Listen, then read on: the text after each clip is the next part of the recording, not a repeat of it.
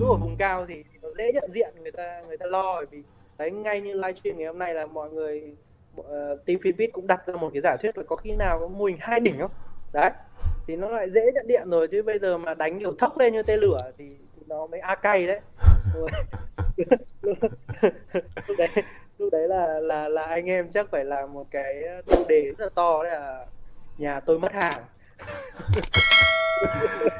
đấy có, có một số anh em cũng lo cho anh mất hàng. Nói chung cũng cũng đấy. cũng khổ anh. Cũng rất là cảm ơn cái sự gọi là uh, kiểu cẩn trọng của anh em. Nhưng mà nói thật chứ anh thì không bao giờ sợ mất hàng. Bởi vì à. anh là người cái hệ chiến. Tức là mình mua rất là cao. Mình chấp nhận mua rất là đắt. Có thể mình sẽ xịt như kiểu 6 tháng rời. Nhưng mà một tơn thì mình sẽ lấy lại nước pháp kiểu như thế. Tức là mình có một cái có một cái máu hệ chiến trong người sẵn rồi. Nên là cái cảm giác của mọi người trong những cái năm vừa qua trong hai năm vừa qua ấy, thì anh nghĩ là mọi người có vẻ như mọi người đang không không không hiểu đúng cái cá tính của anh. Tức là anh đánh anh nói trước mọi người luôn là, là khi mà thị trường chính thức vào uptrend này đánh anh, anh có một thói quen đánh rất là gắt trong uptrend đấy là một thành một thói quen mình rồi mình ra cái điều này khó bỏ. Kiểu sở thích ấy, kiểu vậy. À, chắc là à, mình sẽ tâm sự thấy đủ rồi anh nhỉ? Thì mình sẽ à, có thể là sau đây sẽ đi vào cái nhận định cho tuần mới. Thì trước khi trước khi anh Tuấn Anh à, anh Tuấn Anh cùng review với mọi người và dự báo tiếp tục dự báo để cho các anh lại chép bài thì rất mong mọi người cùng cùng Tính... ủng hộ Finbit để anh Tuấn Anh có thể đưa ra một cái dự án dự báo nó sát nhất bằng cách tình phải nhắc người... nhắc lại phải cầm bút viết ra. Đấy, đấy là trước khi mà mọi người ghi ghi cái kịch bản của anh Tuấn Anh xuống thì uh, rất mong mọi người hãy cùng uh, like cho cái video livestream này cũng như subscribe để các anh em uh, có thêm uh, động lực đưa ra một kịch bản để cho uh, team tạo lập team lái uh, copy bài thì uh, mọi người uh, có thể nhìn rất rõ là có nút like và subscribe rất mong uh, sự ủng hộ của mọi người và làm sao để cái video này được lan tỏa tương tác và cái quan trọng là để làm sao mà tuần sau anh em không mất hàng đúng không anh Tuấn Anh? Còn sợ nhất bây giờ là là là, là mất hàng đấy.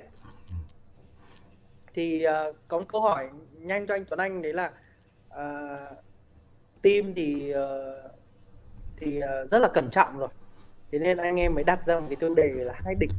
Thì anh, Tuấn Anh có thể giải thích, có thể trả lời luôn là mình có sợ cái mô hình hai đỉnh ở cái giai đoạn này và trong cái bối cảnh này không? Và nếu không thì dự đoán tuần sau VN Index sẽ đi như thế nào?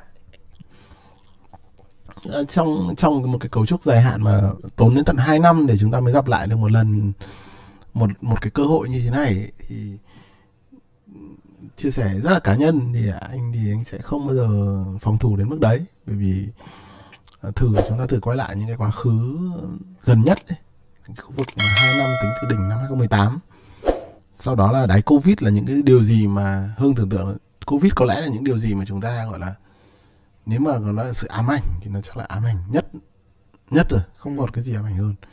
Thì nên nhớ rằng là sau khi mà mà cái đáy nó được hình thành và cái đường chéo nó được break ấy, lần đầu tiên ấy, khoảng tầm là tháng 8 năm 2020 ấy, đặc biệt sau đó thì cái một cái đường chéo quan trọng thứ hai được break ở khoảng tầm tháng 10 năm 2020 thì anh vẫn nhớ rất là nhớ như in cái cái khu vực mà tháng 10 năm 2020 này. Là thực ra ấy, bà con khi mà vượt lên trên này bà con bắt đầu rất nghi ngờ cái đoạn mà em nhìn nó rất nghi ngờ cái đoạn mà kéo vượt vượt chéo xong rồi xong rồi nó về quay lại retest đấy thì nhưng mà sau cái đoạn retest này xong ấy, thì thị trường đi đi đúng cái hình mà anh nói bên nãy là hình tam giác vuông. Ở đây thì nếu mà anh chị em mà nhìn thế này thì phải nhớ rằng là nếu mà hình tam giác vuông như thế này ấy, thì dường như ở đây là một cái form mà gọi là đẹp nhất luôn của gọi là xác suất thành công cao. Mình hiểu đơn giản như thế đúng không và nó xảy ra ngay sau khi mà vượt đường chéo quan trọng thì chúng ta nên nhớ rằng là chúng ta cũng đang ở cái cái cái tình huống gần gần giống như vậy và anh rất là đợi cái tam giác vuông này. Nên là cái chuyện rằng là nó hai đỉnh hay không ấy, thực ra nó là đỉnh ở đâu? Ví dụ như là em cứ hình dung là mình đang bò từ uh, mình đang ở Hà Nội mà lên núi Nùng này kiểu bò được mấy cao được còn tầm cao độ được cả mấy chục mét. Sau mình bảo là ui sợ núi thế sau lên Phan Xi Phăng chẳng hạn để mà lên được đỉnh núi cao thì đương nhiên nó phải qua những cái đỉnh núi nhỏ. Nên bà bảo là hai đỉnh hay không ấy, thì thực ra ấy, cái kiểu phán như thế nó rất là khó nói. Bởi vì là kể cả là trong trường hợp mà tồi tệ đi có mà rũ ấy, thì bây giờ câu hỏi đây là có gì để mà rũ? Tức là có lái có dám bung hàng ra để rũ không? Ừ. thì riêng lẻ cho từng loại hàng thì chưa chắc dám dám dám bỏ ra mà rũ bởi vì ờ, bỏ ra có khi bị đội khác nó cướp mất lại thì, lại thành mất hàng đúng không? ừ, thì thì anh phải tâm sự với Hưng rằng là trên lịch sử chứng khoán Việt Nam đã đã có rất nhiều không phải một lần rất nhiều lần những đội lái chính mất hàng ừ. mất hàng là, là như thế này bài toán em cứ nhìn ra xã hội ngoài đời nhìn mà xem thì có em có nhớ là hồi xưa, ví dụ như là các đội bán bất động sản, có những đội F1 phân phối cho chủ đầu tư. Thì sau khi phân phối xong cho chủ đầu tư thì cứ nghĩ là xả hàng xả hàng xa xong đội, các đội F2 nó ôm hết hàng, sau đó nó lại đánh thốc lên một lần nữa. Thì cuối cùng, bao nhiêu công marketing quảng cáo, bao nhiêu công chạy quảng cáo của cái đội F1 thì đội F2 nó ăn hết thì trên lịch sử chứng khoán Việt Nam nó y hệt như thế ở thị trường kinh doanh bên ngoài đời nó như thế luôn tức là đã mất công kiểu như là tạo ra thương hiệu rồi thì ừ.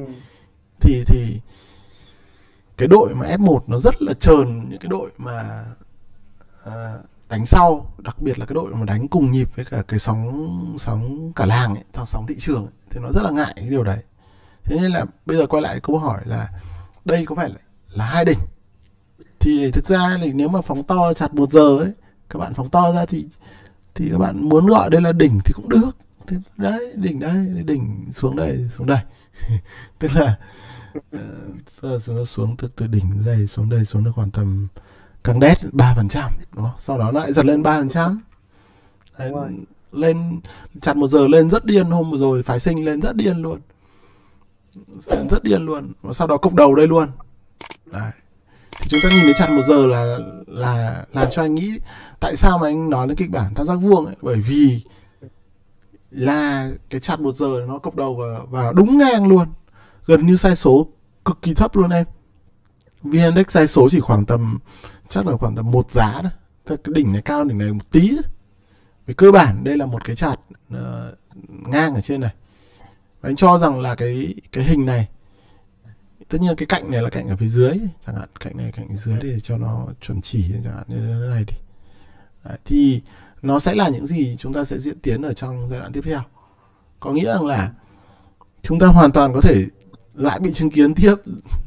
Là thứ hai anh em anh em lái lẩu là nó sẽ xem chương trình này và nó sẽ à. nó có thể tạo lại một phát nữa xuống dưới này để thử thách uh, thử thách à. tinh thần của chúng ta nhưng nhưng nhưng mà nhưng mà kịch bản đấy thì lại không bất ngờ đúng không anh à đấy không bất ngờ cho mình còn dân tình thì anh nghĩ nó bất ngờ chứ vì thốn lắm bởi vì anh em nhìn hôm trước ở hôm trước cái đoạn cuối này nó rất là nhọn ừ. em nhớ là hôm trước ở cái cái ngày 11 tháng 3 và lúc 2 giờ chiều đánh đánh rất là sâu luôn đúng không và đến đến ngày hôm sau thì nó mới rút chân. Chứ nó không rút chân như anh em mình nói. Thì nó không rút chân cuối phiên. Đánh tắt ATC luôn. Thì cái cách đánh đấy là nó cũng cũng cũng khốn nạn chứ. Bởi vì nó đánh nó đánh thật đóng cửa mà em. Nó đánh phiên đóng cửa như thế là là là, là phải là phải sợ chứ đúng không? Đấy, thì nên là lần này thì anh nghĩ rằng là hôm hôm hôm vừa rồi thì có giật lên hôm vừa rồi có giật lên và anh cho rằng là thị trường sẽ sẽ nếu mà đánh thuận ấy, thì nó sẽ cây về xuống dưới luôn và thực ra anh rất là thích cái form mà tức là anh đã chia sẻ nhiều lần ở trên livestream của phim biết rồi ấy. tức là cá nhân anh rất thích cái form là thứ hai bị dã xuống ừ. và thứ ba rút chân và bốn năm sáu bốn ờ, bốn năm tăng mạnh và sau đó 6 thì sáng tăng mạnh và chiều lại trả lại và mọc tóc một tí. Đấy thì cái form đấy là cái form một cái form gọi là anh thích rất rất thích ở trong thị trường uptrend vì nó phải đầy đủ như thế nó giống như là cá nhân anh thì anh không đánh giống như mọi người. Anh cho rằng là mọi người cần phải thói có thói quen là khi mà mình nó giống như mình ăn một món ăn đi thì mình có chua cay mặn ngọt nó phải có đầy đủ gia vị. Chứ mình không thể nào mà cứ kỳ vọng là cứ tuần nào hưng tưởng tượng cứ tuần tuần nào cũng tăng cả tuần thì nó Đúng như rồi. kiểu em ăn một món nó quá nhiều đạm ấy em thấy kinh lắm mà thực ra sau đó thì nó vẫn chết thôi ấy. nên là anh nghĩ một tuần đẹp là một cái tuần ví dụ tuần sau là cái tuần mà anh thích cái tuần là nó phải kê về một tí kiểu à. dọa dọa một tí anh em gọi là sợ sợ đấy sau sau đó lại kéo lên là ở đâu trung tuần của tuần sau đấy thế ví dụ như là tính bằng tính bằng ngày nhá thì chúng ta có ví dụ anh thích tuần sau là có ngày thứ hai giảm thứ ba giảm nhẹ cũng được bốn năm sáu lên luôn và chúng ta sẽ có một ừ. tuần là vượt đỉnh thì cái đấy là ừ. cái mà anh thích nhất tức là ừ. kê về một phiên rưỡi sau đó ừ. kéo thẳng lên và cuối tuần sau chúng ta sẽ gặp nhau ở khoảng tầm ờ, một hai ờ, chín mấy đấy chẳng hạn đấy à, kiểu thế thì... tiến tiến sát mốc nghìn ba đúng không? Ừ, kiểu là mơn trớn như thế kiểu đánh mơn trớn như thế nó mới thích.